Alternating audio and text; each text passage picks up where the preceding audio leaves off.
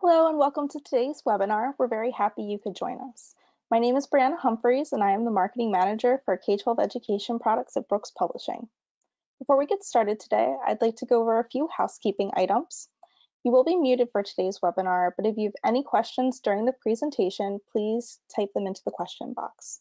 We will take these questions after the presentation during the Q&A portion of our webinar. For the presentation, you might want to minimize the GoToWebinar bar on your monitor so you can see more of your screen. You can do that by clicking the orange button with the arrow in the top corner of the control bar. If you need to enlarge the bar again to ask the question, you can just click that orange button again. If you experience any audio issues at any point, you can switch to phone by clicking in the audio section of the webinar panel and using the dial-in information provided. Also, one quick note, we are recording today's webinar, so everyone who registered for the event should receive a link to the recording in a follow-up email tomorrow. Today, we're very lucky to have Ms. Danielle Empson and Dr. Tim Knoster here with us. Ms. Empson is the Director of School-Based Behavioral Health of the McDowell Institute at Bloomsburg University of Pennsylvania, and Dr. Knoster is the Executive Director of the McDowell Institute and a professor at Bloomsburg University of Pennsylvania. The McDowell Institute is dedicated to supporting the facilitation of social, emotional, and behavioral wellness of children, youth, and young adults across school and community settings. This mission is accomplished through training, technical assistance, and information dissemination.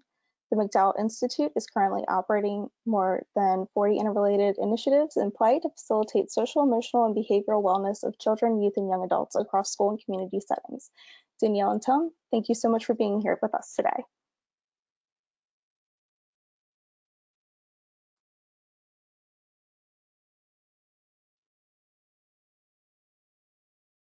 Well, thank you, and we're very excited to be here. Um, we're going to jump right in and get started with discussing various kind of key learnings that we've both um, experienced through our transition to virtual instruction and how to enhance our student engagement. So you'll want to provide explicit guidance around how you expect your students to interact with you, their classmates, and the curriculum. It can be helpful to think about the various contexts that you'll be utilizing, whether that be email communication, small group work in a virtual meeting platform, um, discussion boards of any kind. What we're really suggesting in this regard is just like you would in the typical classroom, is establishing maybe three to three or so general expectations, such as be responsible, be respectful, and be engaged, which creates a simple trail of breadcrumbs for your students to follow. Help your students to picture what they would look like and sound like to you as their teacher when they're meeting these expectations across the various activities associated with your virtual instruction which kind of provides a roadmap towards their success. What you're trying to do in this regard is to minimize guesswork for your students and reduce the number of headaches you'll have for yourself instructionally by clearly communicating how you want your students to both initiate virtual communications with you as well as with their classmates. Um, and then in turn, uh, this can enhance timeliness of communication and helps to provide structure and predictability which provides reassurance and helps to enhance student achievement. Further, as important as it is to clarify expectations uh, and communication patterns outside of class sessions, it's also helpful to establish ground rules for communication with and between class sessions. Establishing ground rules early on helps to minimize problems down the road. The bottom line is being clear about what we expect from our students creates predictability. And predictability is more needed today, as we all know, than ever, with the degree of uncertainties that are present for ourselves as well as our students.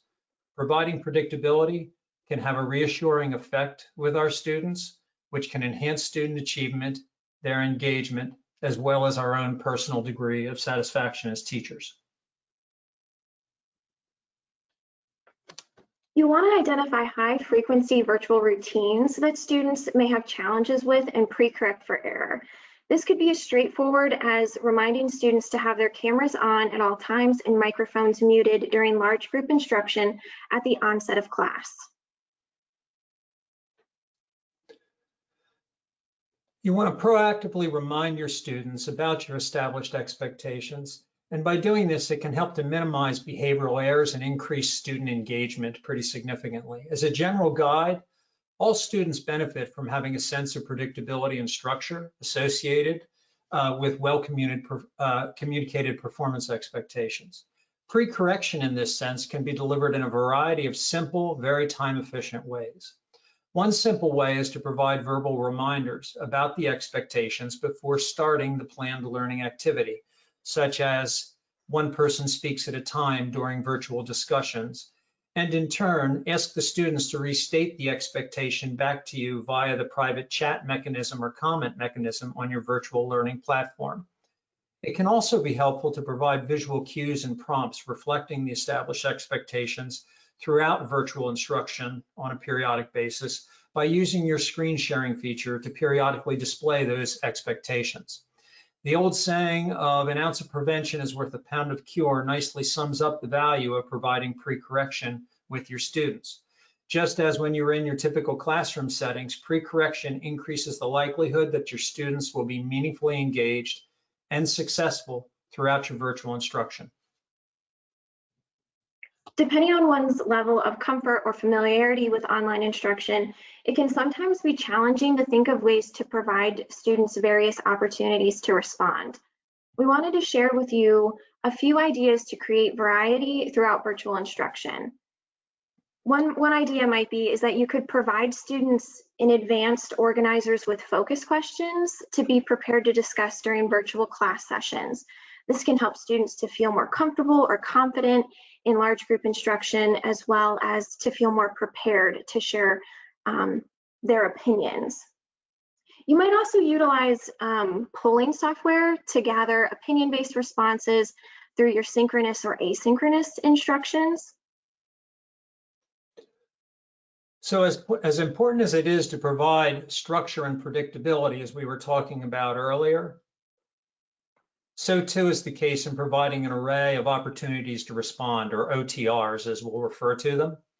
This is not by any means unique to virtual instruction. However, the two-dimensional nature of virtual instruction arguably makes the provision of OTRs even all the more important.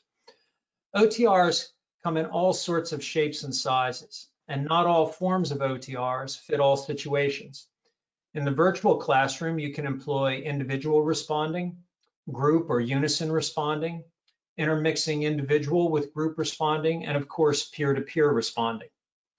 You can as well uh, also solicit student responses through traditional verbal responses, gestural responses, including sign language, as well as uh, through the use of polling software, as Danielle had alluded to, such as the use of iClicker. Depending on the virtual learning platform you're using, you can explore the student response system that comes with that platform, such as Zoom, Google Classroom, or Canvas. Also explore the options associated with that virtual learning platform for students to be able to share their work with classmates as well as with you. When it comes to OTRs, no one size fits all situations. So the key, the key becomes in diversifying an array of OTRs that you employ in alignment with your virtual instruction.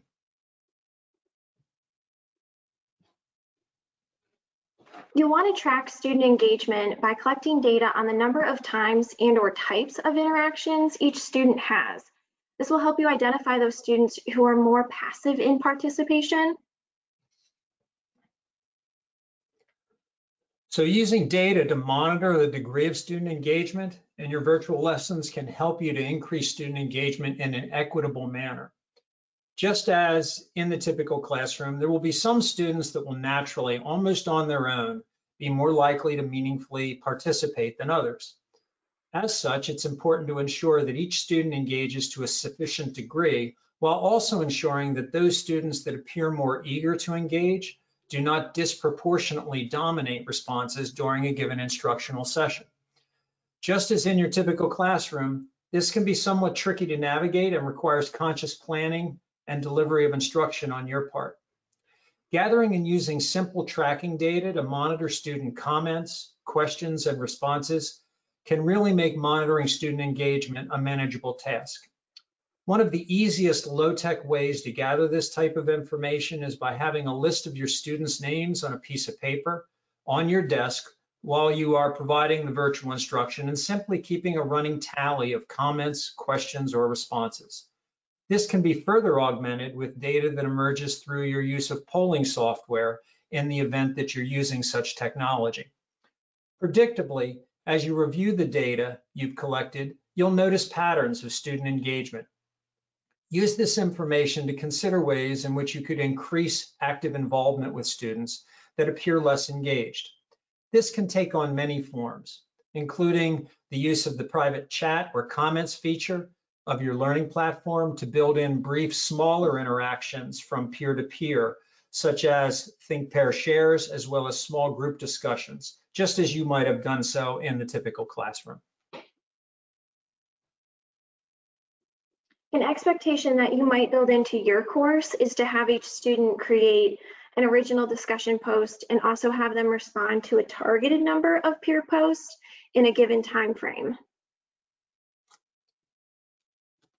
The use of discussion threads can help enhance student engagement in, the, in your virtual operations pretty significantly. You're encouraged to consider building into your performance expectations explicit requirements for students to engage in discussion threads concerning course content on a scheduled basis. How often you require students to initiate, read, or respond to discussion threads will vary, of course, based on the age of your kids, how frequently your class convenes, as well as the nature of the curriculum. Consider as well providing clear guidance to students, not only on the required frequency of engagement through discussion threads, but also the parameters on acceptable versus non-acceptable types of posts. It should prove helpful to provide a few examples as well as non-examples of acceptable posts that can serve as a roadmap for your students. The use of discussion threads, particularly if you allow for expressions of opinion and interpretation that can differ from student to student, can really serve as a very effective way to increase engagement in general, and most specifically with students that appear less engaged than desired. Further reinforce desired behaviors and student engagement by acknowledging students that are meeting the established expectations. So it's important to note that some students will want more public acknowledgements while others will want private praise. It can be helpful to ask students their preference early on, and you can do this in a private manner, um, whether it's in a, a, chat group or um, over email. You want to explicitly acknowledge efforts of students, and it's especially important for those that appear less engaged or those who are struggling with the course content. And while you're dispersing acknowledgements across all students, think of various ways to provide acknowledgement utilizing the technology that you have available. So maybe that would mean using verbal praise for some students in a large group setting. And for others, that might mean privately chatting them and maybe using emojis or sending an, you know, a large class email or private emails.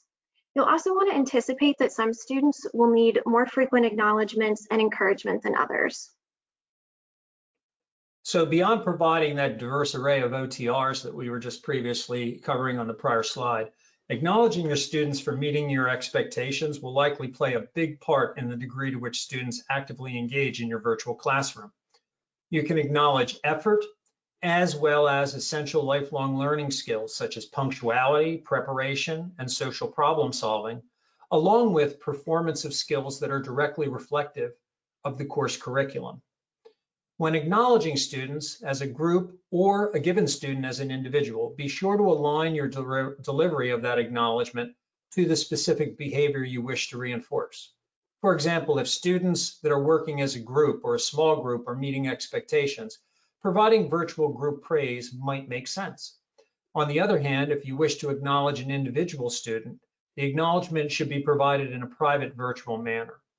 The goal is to provide a greater number of acknowledgement for desired behavior than redirection for undesired behavior throughout your virtual instruction. The target is a general guide, just as it was in the classroom under normal conditions, is to try to achieve a four to one ratio with your students as a whole or a group, as well as with each individual student within a reasonable targeted time frame. Without question, your students will be far more likely to be constructively engaged in your virtual classroom and your instruction when they feel as if they're being acknowledged for their effort as well as their performance. Undoubtedly, a student will act out in an undesired manner. This is true whether you're in a traditional classroom environment or in a virtual one. So while you can remove a student from a virtual meeting room or you can mute students, like all of you currently are, um, you might have some undesired effects. So here are a few less to more intrusive response procedures that you can employ. So it's predictable that some students will periodically engage in undesired behavior during virtual instruction. Hopefully, of course, this will not occur real frequently, and when it does, the nature of the undesired behavior won't be too problematic or significant. Acknowledging this reality, it's helpful to be planned in advance with an array of redirection procedures that you can employ in a virtual manner that align with addressing both the frequency or the severity of the undesired behavior. In particular, you're encouraged to have a pre-organized continuum or a hierarchy, so to speak, of redirection procedures that you can easily implement as the need arises. Having a planned continuum in advance and ready to go on an as needed basis can help you to maintain the flow of virtual instruction for all of your students as well as to re-engage the student of concern in a constructive manner, and also to maintain a calm, even keel demeanor when uh, needing to redirect a given student uh, based upon their behavioral uh, challenge.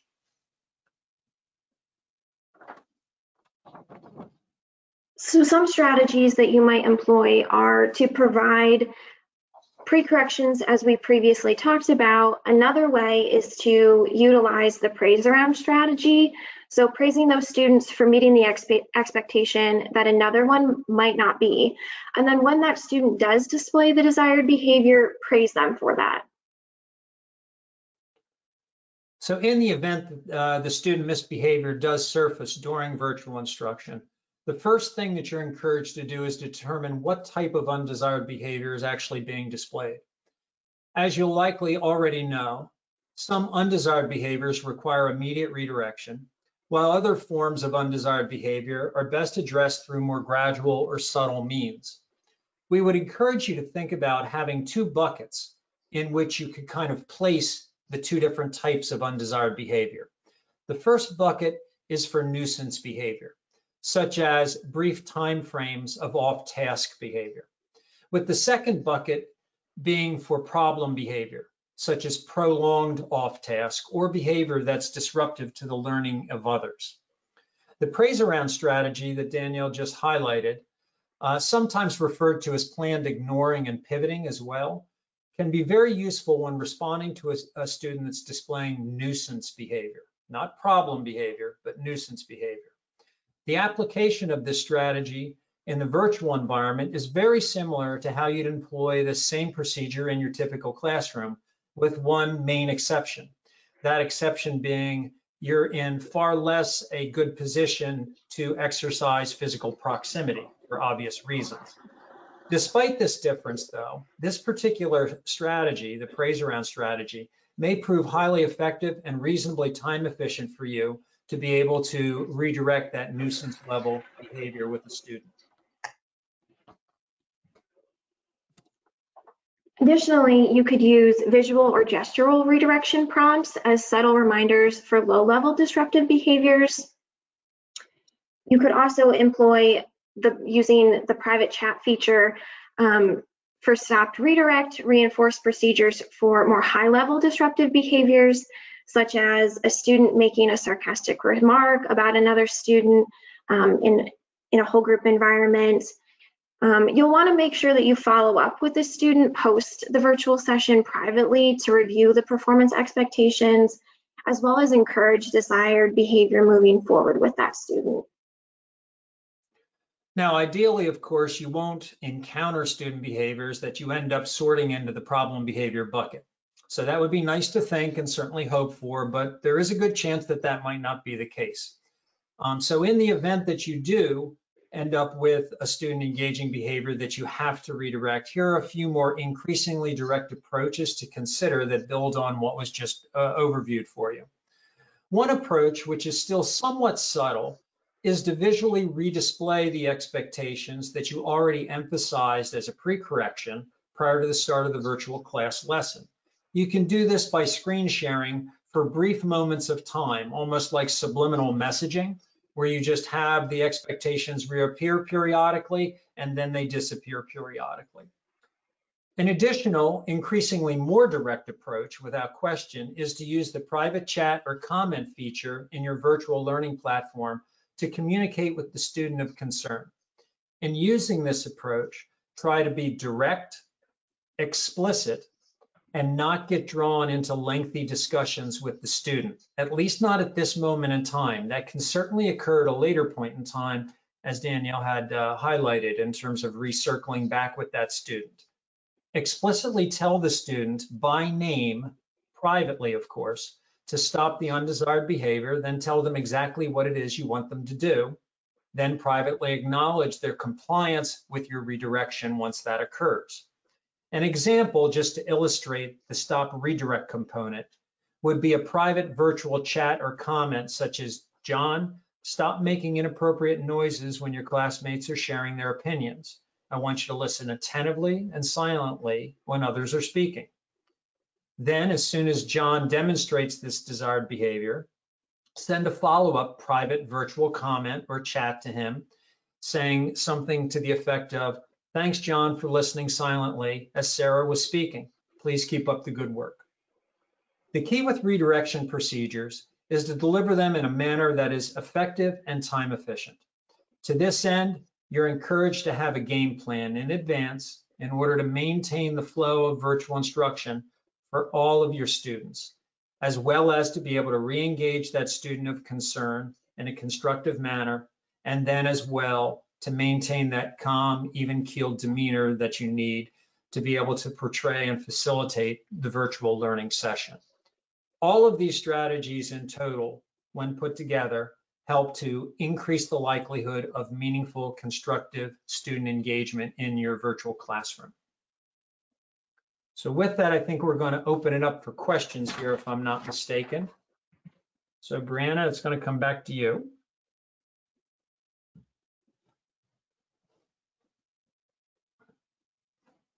Thanks so much, Tim, um, for a great presentation, and thanks to Danielle too. Um, just a reminder to everyone that continue submitting your questions, and we're going to go ahead and jump into the Q&A portion. Um, we do have a question from someone who's asking if you have specific tips and strategies for engaging students who might have learning disabilities. In terms of the application of these procedures that we highlighted in this session, um, functionally, the application of these would be generalizable across pretty much all pop populations. Now, if you do have kids with, say, communication challenges, um, you're going to need to be able to communicate in, at a, in a level and in a manner that makes sense to that particular student. But the actual engagement strategies themselves are not necessarily, from our perspective, highly unique to, say, a particular disability type. These are kind of general universal engagement strategies. Um, now, that does not suggest that there uh, will not be a need with particular ind individual kids based on their IEP um, to look at the nature of that specially designed instruction that's already embedded in the IEP and to perhaps tailor your delivery of virtual instruction in that regard. Um, but uh, my take on it would be fundamentally it's it's the application of specially designed instruction, accommodations, and modifications, while it's in a different platform, from an instructional design standpoint is very similar as to what you had in, in, in the traditional classroom. It's just you're kind of stuck in this two-dimensional world with a flat screen um, and you don't have the ability to engage more personally, directly, and use things like proximity, handover, hand prompting, and gesturing, and those types of things. Um, one other thought along those lines would be that, again, depending on both the age of the students as well as um, the degree of independence um, that they have in terms of functioning, um, it's very likely that a number of kids, particularly younger kids or say individual students with significant disabilities, would have somebody with them, not necessarily independently engaging online. So you might want to uh, planfully communicate with those people in advance. Some of the strategies that you might almost intuitively do or have paraprofessionals do if you have paraprofessionals embedded in your classroom uh, to be to be able to utilize them as proxy as they're in proximity with the particular kiddo. Great, thank you for that. Um, another question we have received is if you have any specific strategies or tips for educators who are working with younger children, such as um, it was noted here, Head Start or pre-K classes, so children ages three to age five. And Danielle, I'll, I'll, start this one out. If you want to jump in, you're welcome to it as well. But again, it's the, the key is that age appropriate alignment. Um, actually, my wife's a kindergarten teacher and she's living in a virtual environment right now. And that's fundamentally different than say um, a 10th grade algebra teacher. Um, not that one's easier than the other, but they're, they're fundamentally different uh, uh, students in terms of where they're at. Uh, in terms of working with younger kids, um, to some extent, uh, the more that if not parent, guardian, or somebody can be with them and should be with them, um, the better. And I would probably, the, the primary thing I would really uh, dive down deeper into is actually just the same way or use the same approach that you might use in how do you organize um, the use of either volunteers and or paraprofessional staff in your classroom. Um, I would encourage really systematically communicating with those those individuals well in advance and invest the time and energy with them. If in fact they're going to be there in the household uh, which is more than likely where, where everybody's at right now if they're in that household with that kiddo helping them navigate through um, the virtual environment. Um, you can certainly use the larger group types of settings but um, and I think this is true with older kids as well, but it's particularly necessary with younger kids. Having, having a group of 25 first or second graders all on uh, for a, an extended block of time in a two-dimensional world um, is probably not going to be particularly effective. So breaking things into smaller group work um, and actually using, um, depending on the platform you're using, uh, actually to cluster kids into smaller learning groups for things, and then maybe look at creative scheduling of timing in that you're convening with small groups rather than large group. Those are the things that would come immediately to mind. Yeah, and I know a lot of our um, programs in Pennsylvania are utilizing different types of learning-based apps. So that age group, they might be familiar with playing games on a caregiver's phone or on a tablet. So kind of transitioning transitioning that learning environment away from a Zoom platform and into more app-based where an educator can monitor and track their progress as well as provide reinforcements through badges or things of that nature can also be really helpful. Those are both really great suggestions. Thank you so much for that. Um, I do want to be mindful of our time because we're already almost at 2.30, believe it or not. So um, if it's okay, Tim and Danielle, we'll follow up with you separately about some of the additional questions we've received today, and we can follow up with attendees after the webinar.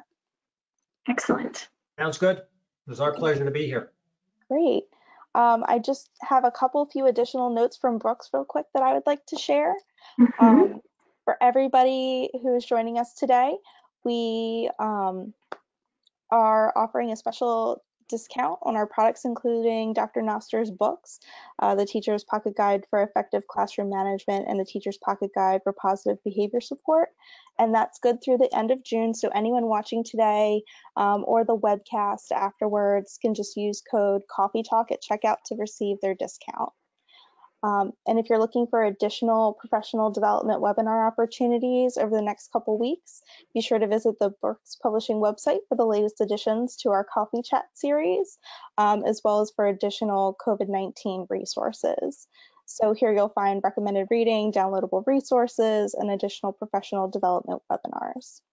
So once again, thank you to Dr. Knoster and Ms. Empson for a great webinar. There were a lot of really wonderful tips presented today, so thank you for that. Thanks a lot. Take care. Be well, folks. Thank you all.